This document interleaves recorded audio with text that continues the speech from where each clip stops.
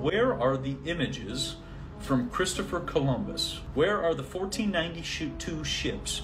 And we talked about this in multiple other videos. Where are they? They have a picture of the Santa Maria, which I thought was really interesting.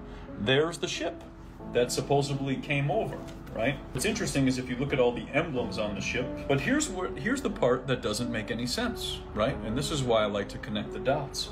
You have this ship, right? But look at those high-rise buildings in the background. Those are pretty big.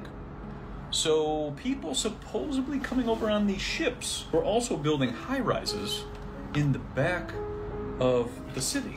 This is a building in California, and it goes by each by each state. Look at that. Look at that architecture. Just remarkable, right? The amount of detail, the arches.